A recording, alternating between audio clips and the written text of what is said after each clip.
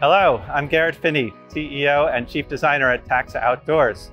Um, at Taxa, we make mobile human habitats for uh, take you on adventures, to support your adventures wherever they are. We are proudly made in the USA in Space City, um, and it might help to know that I'm an architect and a space architect and used to work at NASA. I'm going to give you a tour of the 2020 Mantis now.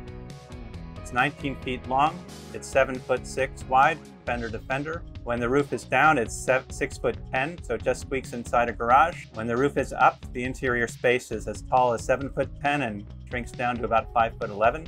The dry weight is 2882, sleeps four adults, and with hammocks or a rooftop tent, you can add up to four more people. Every taxa habitat is built on top of a powder-coated steel frame. They come standard with a torsion axle and electric brakes. A torsion axle allows each wheel to act independently and requires little or no maintenance and gives you a smooth ride on or off the road. I'd like to show you some samples of the quality materials we use in our habitats. We use powder-coated steel for our chassis and skeletons. We use aluminum for other skeletons and parts. Our, the skin of our trailers is a composite aluminum panel with foam in between for significant uh, performance and strength and R value. Our cabinetry is made of uh, Baltic birch, so it's solid core infill. It's really tough as hell. Um, so our cabinetry and our countertops have a high pressure laminate surface.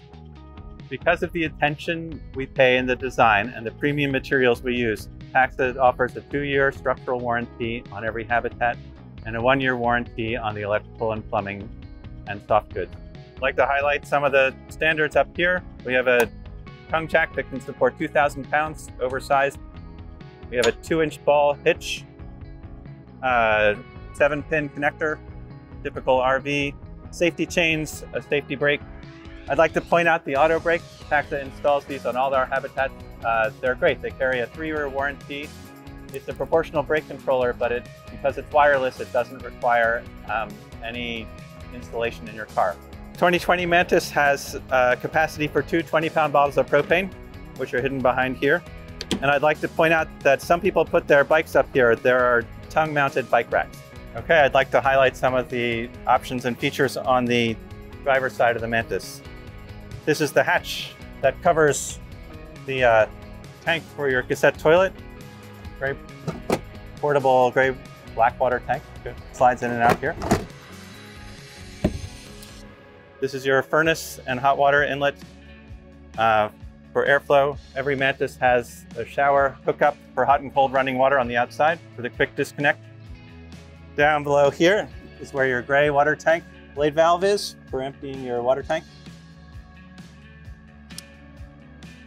Here's your city water inlet for pressurized water from a, a garden spigot or a campground.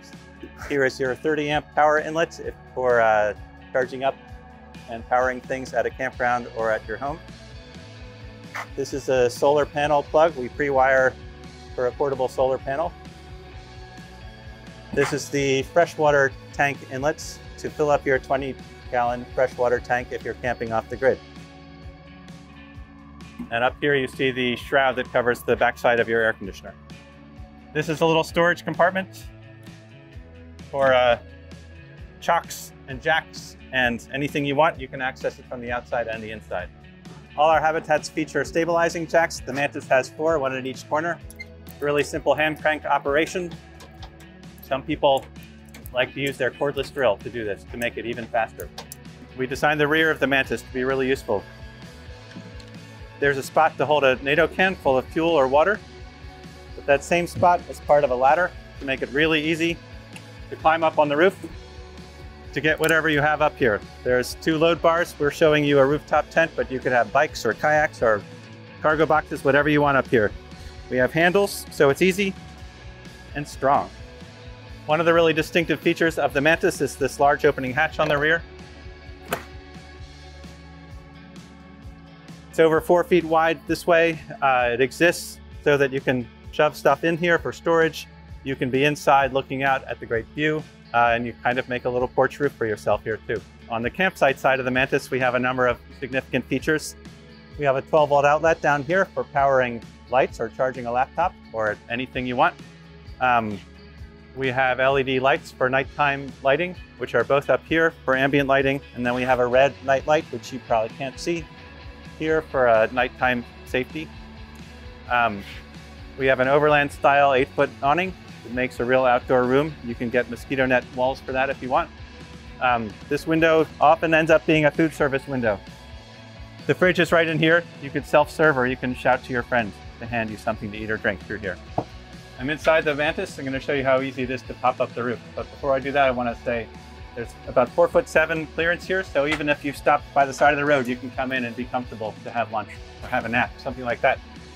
The roof is held down with two latches at either side. Give it a quick push and it pops up. I am just under six feet tall. The roof here is seven foot 11. You come up here at the very shallowest, I can still stand, so it's 5'11 exactly. The Mantis tent has excellent 360 views and ventilation. I'm gonna unzip this last panel so you can check it out. So we have big windows down here for great views when you're sitting down and great ventilation. But then up top here, you have a 360 view, um, amazing cross ventilation, and adjustability for privacy, or if the wind's blowing, or if a rainstorm is coming from a particular direction, obviously you'd want to shut that side. All right, let's come inside for a tour. I want to show you how this works. Um, you were coming in, there are actually handholds up here that you can do chin-ups on or help you come in. Right inside the door are some light switches that control all the exterior lights and the ceiling lights inside. We have little useful holes everywhere. I always attach my keys and a little flashlight here um, when I'm coming in. And then you saw me sitting on this couch before. It's not only a couch, it's a bunk bed. Some simple straps that latch into holes at either end.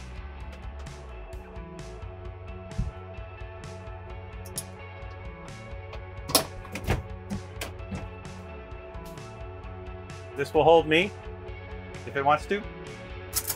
If you have a toddler or an infant, we have a safety net to keep them stretched, strapped in. You don't have to worry about them tumbling off in the middle of the night. The safety net has pouches in it for diapers or stuffed animals or books, whatever you want. So this would be the, uh, the toddler up here, the teenager down there, and the adult back there. Let me make this multi-use feature into its last shape. Put away the bunk net.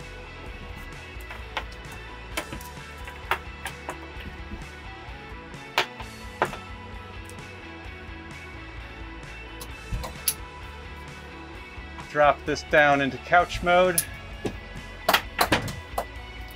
But also, the bottom flips up and latches up.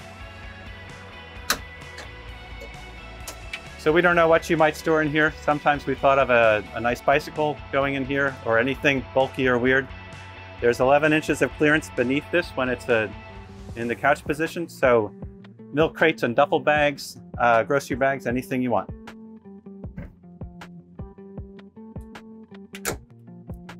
All of our habitats have holes similar to like the keychain thing I showed you.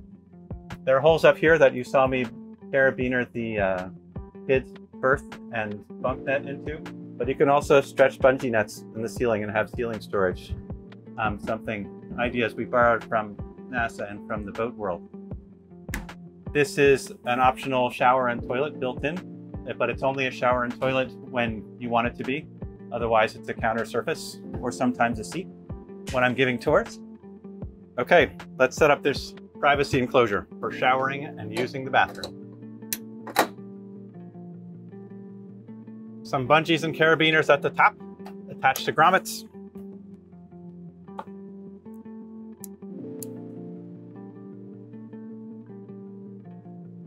And then at the bottom, there are snaps that snap into the cabinet.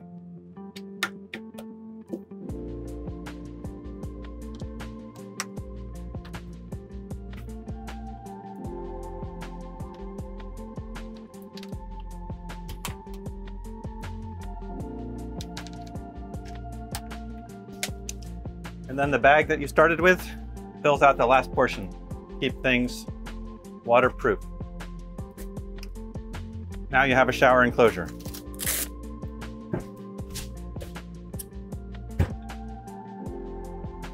Okay, let me give you a tour of our this side of our kitchen unit. Starts with upper storage for short things, generally cups and cans and spices. Um, we have a taller space here for paper towels or olive oil or whatever it is you want. There's a 12 volt meter. There's a 12 volt outlet. There's a 110 outlet if you're attached to shore power and have any appliances you want to use. Um, your air conditioner built into the cabinet and runs on shore power as well. Uh, it's five feet wide, it's 21 inches deep. Every Mantis comes with a sink and a two burner stove with an electric sparker. As we go further down, you can see that we use the Baltic birch in all our cabinetry. It's really tough as hell. Um, also made in Texas. Uh, storage for whatever you want. I tend to put papers in here, whatever I'm bringing along with me. Um, and then a switch panel for lights and fuses and controlling our hot water and heater and furnace by Truma. I want to point out our drawer system, our storage system, is based on uh, milk crates. It's both a drawer, but also since many of our customers love to cook outside, you can take practically your whole kitchen outside just by pulling these all the way out and walking outside.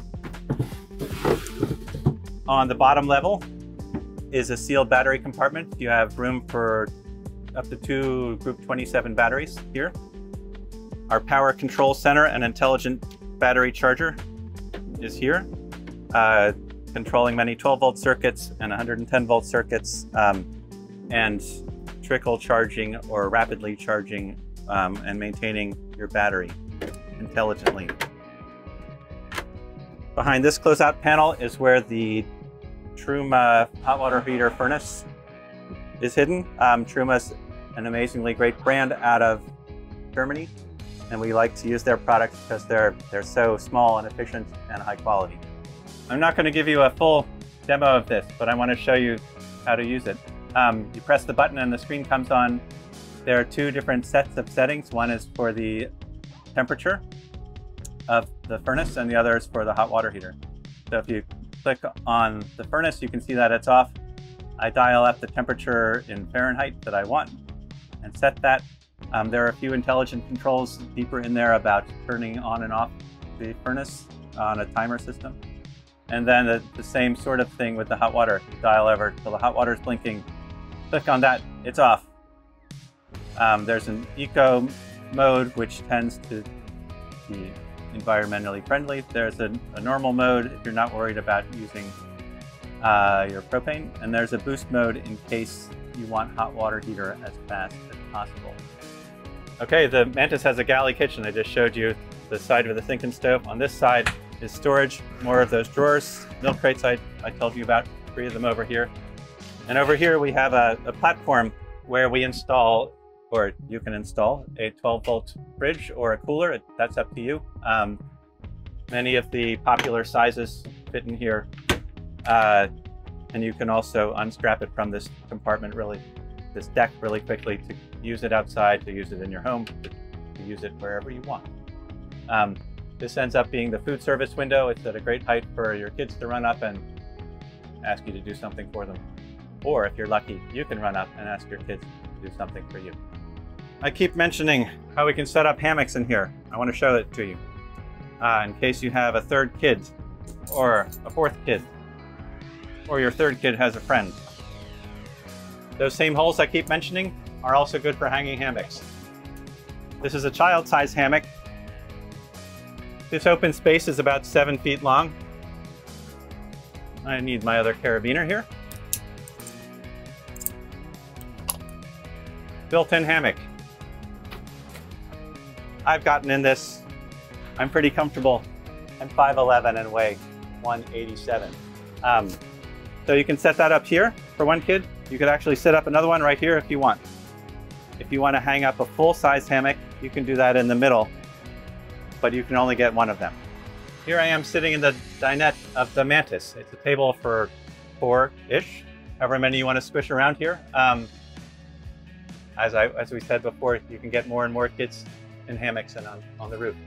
it's a comfortable place to hang out. Uh, you're filming, you're being, I'm being filmed through the open hatch, so you can see what a great relationship to the outdoors we have.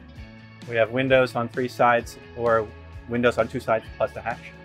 Um, this table rotates easily to help you get in and out easily. Uh, here, let me start making this into a bedroom for you. I know some of our customers like to have it in this hangout lounge scenario. I'll point out that this table has a special nesting spot just for that purpose. Um, so there's uh, three bins of storage under here. see if I can do this cleverly. There are three bins plus on the other side. So uh, just like this tabletop can disappear into here, the rest of the bed disappears into there. More storage, plus there's a long spot back there.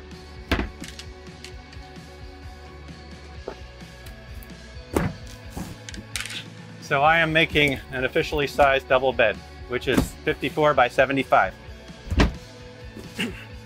I am six feet long. So if you're at a campsite and the weather's right and you're doing all your cooking out there, you don't ever need this to be a dinette. You just set it up as a, uh, as a bed or as a card playing, game playing platform. Just like all the other units, we have these holes around. We have some bungee nets up here storing stuff. It's a quick way to clean up your room or be organized. Um, and everything's in reach. We have uh, ambient lighting that you can't see during daylight. It's up here. Um, and over here we have a reading light for those adults in bed. And we have a secret cell phone storage charging station. Back here, there's a, a USB outlet in here to charge up to your